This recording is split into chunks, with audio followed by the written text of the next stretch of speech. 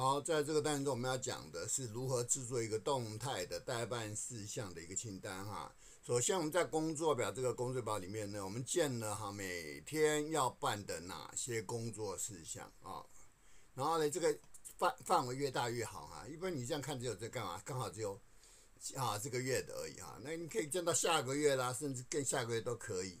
哦，那。我们在动态清单这里的第一个，你的代办事项这个地方哈，我们系统日期要先抓，你要抓什么？今天日期，所以什么？我们用函数哈，等号 today。为什么不用 now 呢？因为你用 now 会有一个很大的问题哈，什么问题点？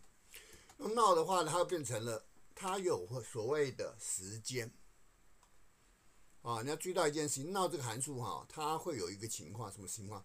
假设你把它这样拉下来哈，我们把它抓那个连这个都抓起来。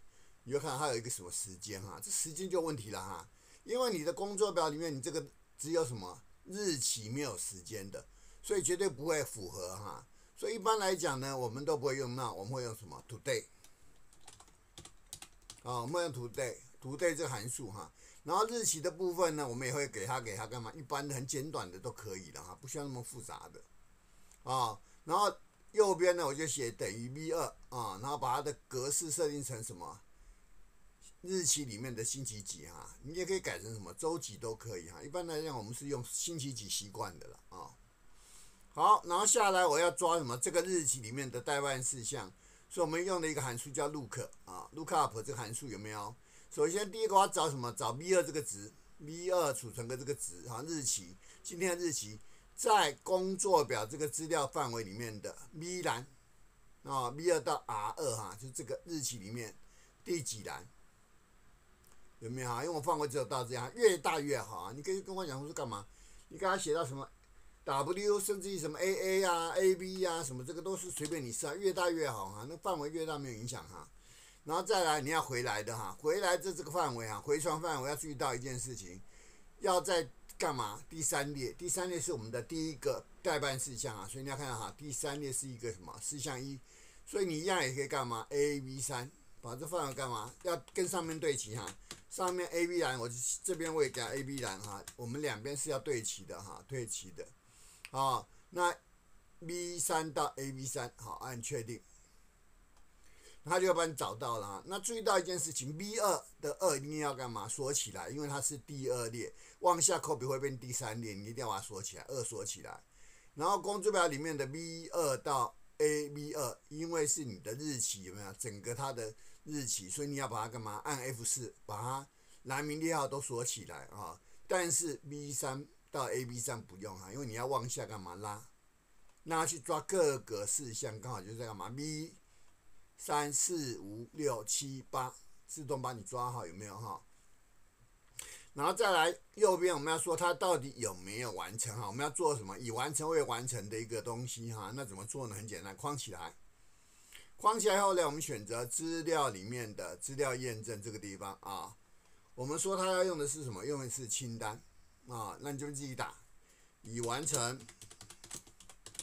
啊，逗点未完成啊。那这打完以后呢啊，注意到啊，项目之间是用逗号去分割的。好了以后，我们就按确定。这时候你就可以用选的有没有完成？比如我说未完成啊，未完成啊。未完成，有没有？哦，这个都可以让你自己设啊，就是这样自己可以干嘛去拉的啊，去拉的。好，然后最后面这边有一个情况哈，那玩家我已完成，啊，有没有？啊，那这里面会有一个很重要的观念，就是说，假设我希望已完成的是绿色，未完成的是红色，怎么做？啊，怎么做？很简单哈，那你就把它框起来啊，框起来以后呢，我们选择什么？常用里面的。条件式格式设定有没有啊？里面的新增规则啊，新增规则里面注意到哈，我们要用公式来决定哈，要格式化哪些储存格。等号啊，代表的是 C 三，C 三储存格。注意到 C 三储存格呢，如果是等于已完成，那这个时候要注意到这已完成是什么意思？字串有没有？你一定要前后加什么？双括号啊，把它框起来啊，表示这个是文字哈。以 C 三等于已完成的时候啊，怎么样啊？我们要格式设定设设什么格式呢？设绿色字。啊，那我可能说我要出题。好，确定。然后这边有一个重点来了哈，注意到你这是要干嘛？同一列全部都要变绿色，所以你的列号不能锁定哈。但是你的蓝名可不可以锁定？可以哈，你蓝名把它锁起来是可以锁的哈，锁的没有问题哈。但是列号不能锁哈，列号锁就会有问题。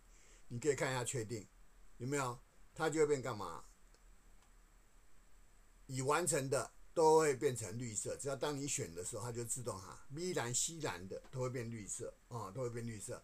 那变红色的部分一样哈，我们就把它框起来，再做一次。条件是格式设定，新增规则。啊，使用公式来决定，我一样打等号，大的 sign C 三有没有啊？等于双括号未完成啊。然后呢，这时候格式设定呢，我就跟他讲啊，未完成的怎么样？要变成粗体红色啊，然后确定，然后再按确定。这时候未完成的就会红色啊，就可以出来了啊，就可以出来了。那有的人会说，这个零能不能去掉啊？其实上零是可以去掉的。这个零要去掉的话怎么办？那个就是你自己要去做什么？格式设定哈，这里数值的数字设定有没有？啊，格式你要把它制定啊，制定里面给它干嘛？通用格式第一个是干嘛？通用格式分号，第二个是负的。第三个是零的啊，所以零的部分干嘛？你就不要就不要打了哈，你就给它可以可以按什么空格，有没有不显示资料嘛？啊，那这也可以哈，这样确定，那零的就会干嘛？消失了啊，消失了啊，这样子啊，但是呢，正的值跟负的值跟文字都还保留着哈，保留着。